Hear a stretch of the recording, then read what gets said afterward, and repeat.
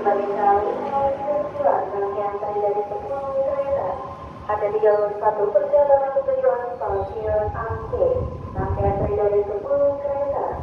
Dan kami lakukan